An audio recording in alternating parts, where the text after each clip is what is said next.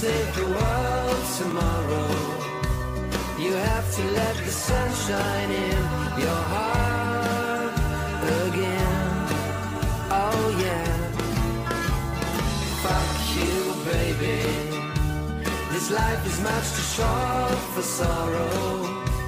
We have to find a way to end this punishment.